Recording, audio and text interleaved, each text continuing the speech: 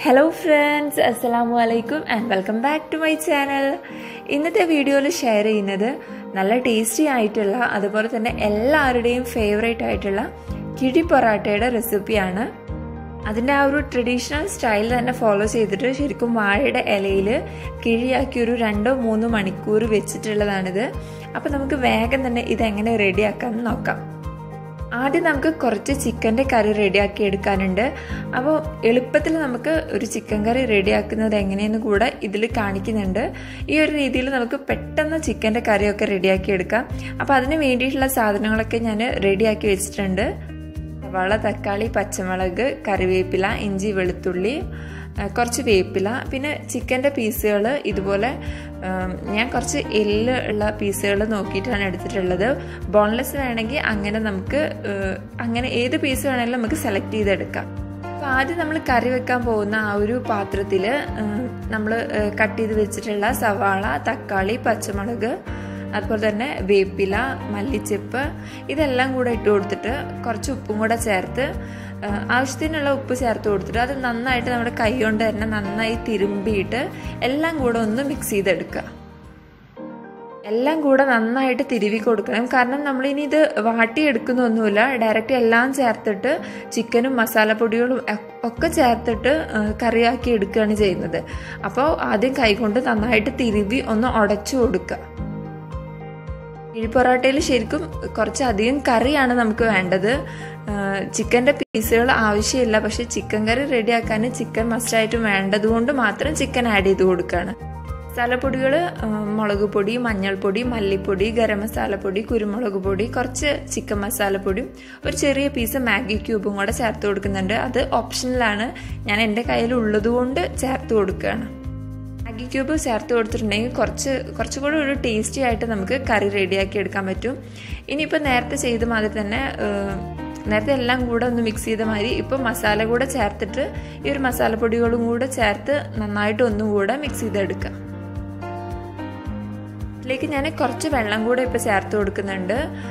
എന്നിട്ട് ഒന്നും കൂടെ നന്നായിട്ടൊന്ന് തിരുകിയതിന് ശേഷം നമ്മൾ ചെറിയ പീസുകളാക്കി വെച്ചിട്ടുള്ള ആ ഒരു ചിക്കനും കൂടെ ഇതിൽ ഇട്ട് കൊടുത്തിട്ട് നന്നായിട്ട് ഒന്നുകൂടെ മിക്സ് ചെയ്തെടുക്കുക.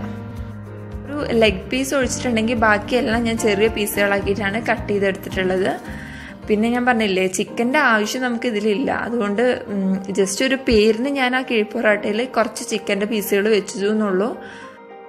മിക്സിംഗ് ഒക്കെ കഴിഞ്ഞിട്ടുണ്ടെങ്കിൽ സ്റ്റൗവിൽ വെച്ചിട്ട് ഒരു മീഡിയം ഫ്ലെയിമിലിട്ടിട്ട് കുക്ക് ചെയ്തെടുക്കണം. അത് ഈ ഒരു രീതിയിൽ തന്നെ തുറന്നു വെച്ചിട്ട് ഒരു പത്ത് മിനിറ്റ് ഒന്ന് കുക്ക് ചെയ്തെടുക്കുക. അതിനുശേഷം ഇതൊന്ന് മൂടി വെക്കാം മൂടി വെക്കുമ്പോൾ കുറച്ചിങ്ങനെ തുറന്നു വെച്ചിട്ട് വേണം അതൊന്ന് മൂടി വെക്കാൻ. ഏകദേശം ഒരു പത്ത് മിനിറ്റ് ആകുമ്പോഴേക്കും ചിക്കനിൽ ആ ഒരു വെള്ളമൊക്കെ ഇറങ്ങി വന്നിട്ട് അത്യാവശ്യം ഗ്രേവിയൊക്കെ ഉണ്ടാവും. അതിൽ ഞാൻ ഒരു ഗ്ലാസ്സും കൂടെ വെള്ളം ചേർത്ത് കൊടുക്കുന്നുണ്ട്. കാരണം ഈ ഒരു കറി വരെ എനിക്ക് തികയാതെ വന്നു. അപ്പോൾ നമ്മൾ റെഡിയാക്കി എടുക്കുമ്പോൾ നമുക്ക് ആവശ്യമുള്ള ക്വാണ്ടിറ്റിയിൽ വെള്ളമൊക്കെ ഒഴിച്ചു കൊടുത്തിട്ട് കറി റെഡിയാക്കി എടുക്കാം. വെള്ളം ഒഴിച്ചു കൊടുത്തിട്ട് എല്ലാം നന്നായിട്ടൊന്ന് മിക്സ് ചെയ്തിട്ട് വീണ്ടും അടച്ച് വെച്ചിട്ട് ഇനി കുക്ക് ചെയ്തെടുക്കുക പറഞ്ഞ മാതിരി കുറച്ച് തുറന്ന് വെക്കുക ഒരു മൂടി കുറച്ച് തുറന്ന് വെച്ചിട്ട് വേണം കുക്ക് ചെയ്തെടുക്കാൻ എളുപ്പത്തിൽ ഇത് ചിക്കൻ കറി ഇവിടെ റെഡി ആയിട്ടുണ്ട്. ഇനി ഇതിന്റെ സ്റ്റൗ ഓഫ് ചെയ്തിട്ട് പുറത്ത് വെക്കാം. കുറച്ച് കഴിഞ്ഞിട്ടുണ്ടെങ്കിൽ ഇത് ഒന്നുകൂടെ തിക്കായിട്ട് കിട്ടും. നമുക്ക് എല്ലാം കൂടെ ഒന്ന് സെറ്റ് ചെയ്തെടുക്കണം. ഇത് നമ്മുടെ കറി കുറച്ചും കൂടെ തിക്കായിട്ടുണ്ട്. ഈ ഒരു കൺസിസ്റ്റൻസി മതി. ഒരുപാട് തിക്കായിട്ടുണ്ടെങ്കിൽ നമുക്ക് തീരെ കറി ഇല്ലാണ്ടാവും. അതുപോലെ തന്നെ ഒരുപാട് ലൂസായിട്ടുണ്ടെങ്കിലും ആ ഒരു ടേസ്റ്റ് കിട്ടില്ല. ഇതിപ്പോൾ കറക്റ്റ് ആ ഒരു തിക്നെസ്സിലൊക്കെ കറി റെഡി ആയിട്ടുണ്ട്. ഇതുപോലെ ആദ്യം ഒരു വലിയ ഇല വെച്ച് കൊടുക്കുക. എന്നിട്ട് ഒരു ചെറിയ ഇല വെച്ച് കൊടുക്കുക. രണ്ടും വാട്ടിയിട്ടുള്ളതാണ്. എന്നിട്ട് ആദ്യം കുറച്ച് സവാള അരിഞ്ഞത് വെച്ചിട്ട് അതിന്റെ മുകളിൽ ഒരു പൊറോട്ട വെച്ച് കൊടുക്കുക. പൊറോട്ട നല്ല ചൂടുള്ളതാവണം. കറി അതെ നല്ല ചൂടോട് കൂടിയിട്ട് വേണം നമ്മൾ ഈ ഒരു കിഴി സെറ്റ് ചെയ്തെടുക്കാൻ. പൊറോട്ടയുടെ മുകളിൽ ഇതുപോലെ കംപ്ലീറ്റ് ആയിട്ട് കറി ഒഴിച്ചു കൊടുക്കുക. നമുക്ക് ഇതിലും കൂടുതലായിട്ട് ഇപ്പം തന്നെ പൊറോട്ട നന്നായിട്ട് നനഞ്ഞു കിട്ടുന്ന രീതിയിൽ കറി ഒഴിച്ചു കൊടുത്തിട്ടുണ്ടെങ്കിൽ അത് നല്ല ടേസ്റ്റിയിൽ നമുക്ക് കിഴി റെഡി ആയിട്ട് കിട്ടും. ഞാനിപ്പോൾ ഒരുപാട് അങ്ങോട്ട് കറി ഒഴിച്ചു കൊടുക്കുന്നില്ല. കാരണം മോൾക്കും കൂടെ കഴിക്കാനുള്ളതാണ്. അത്യാവശ്യം സ്പൈസി ആയിട്ടാണ് കറി റെഡിയാക്കിയിട്ടുള്ളത്. അപ്പം നിങ്ങൾ ഇതുപോലെ കിഴി സെറ്റ് ചെയ്യുമ്പോൾ പൊറോട്ടയിൽ കുറച്ചധികം കറി ഒഴിച്ചിട്ട് തന്നെ സെറ്റ് ചെയ്തെടുക്കുക ശരിക്കും ഞാൻ കിഴിപ്പൊറാട്ട എന്ന് പറയുന്നത് ഈ ഒരു ഈ ഒരു സംഭവം ഞാൻ ആദ്യം കാണുന്നത് എന്റെ ഒരു കസിൻ സിസ്റ്റർ വീഡിയോ ഇട്ടിട്ടുണ്ടായിരുന്നു. അവർ കഴിക്കുന്നതിന്റെ വീഡിയോ ഇട്ടിട്ടുണ്ടായിരുന്നു. അപ്പം ഞാൻ റെസിപ്പിയൊക്കെ ചോദിച്ചപ്പോൾ അവർ പുറത്തുനിന്ന് കഴിച്ചതായിരുന്നു ആ ഒരു വീഡിയോ ഇട്ടിട്ടുണ്ടായിരുന്നത്. പിന്നെ ഞാൻ ഇതിന്റെ റെസിപ്പി വേറൊരാളോട് ചോദിച്ചപ്പോൾ വളരെ സിമ്പിളായിട്ട് നമുക്ക് റെഡിയാക്കാൻ പറ്റുന്ന ഒരു സംഭവമാണ്. പക്ഷേ ഇതിന് ഒരുപാട് ഡിമാൻഡാണ് ടേസ്റ്റി ആയിട്ട് എവിടെ കിഴിപ്പൊറാട്ട എത്ര ദൂരത്ത് കിട്ടുകയാണെങ്കിലും പോവാൻ ആൾക്കാർ റെഡിയാണ് അത്രയും ഇതിനൊരു അഡിക്റ്റാണ് ചിലരൊക്കെ. ശരിക്കും വീട്ടിൽ റെഡിയാക്കി എടുത്തിട്ട് എനിക്ക് നല്ല ടേസ്റ്റി ആയിട്ട് തന്നെ തോന്നി ഈ ഒരു റെസിപ്പി അപ്പോൾ കടയിലാവുമ്പോൾ കുറച്ചും കൂടെ സ്പൈസി ആയിട്ടും കുറച്ചും കൂടെ ഗ്രേവി ഒഴിച്ചിട്ടും അടിപൊളിയാവും സംഭവം.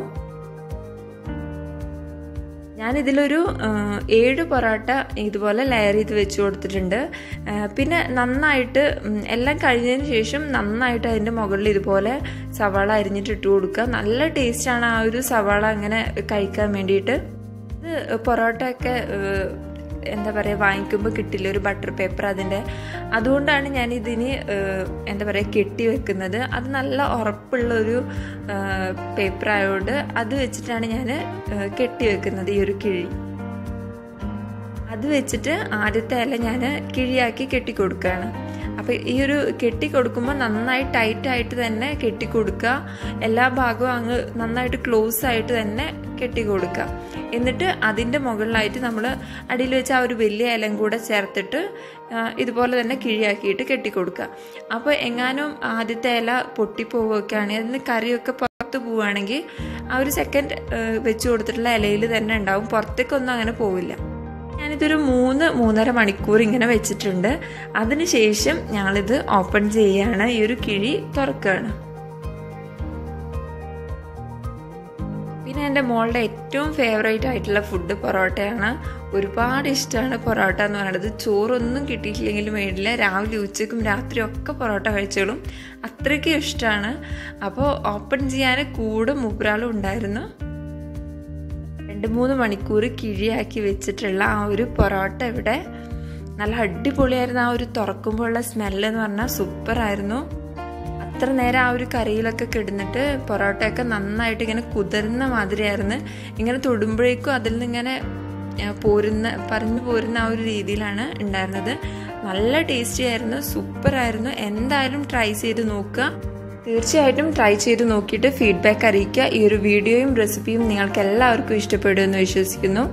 എന്റെ വീഡിയോ ആദ്യമായിട്ട് കാണുന്നവരുണ്ടെങ്കിൽ ചാനൽ ഒന്ന് സബ്സ്ക്രൈബ് ചെയ്യുക. തൊട്ടടുത്തുള്ള ബെല്ലൈക്കണിൽ ഓൾ എന്ന് തന്നെ ക്ലിക്ക് ചെയ്യുക.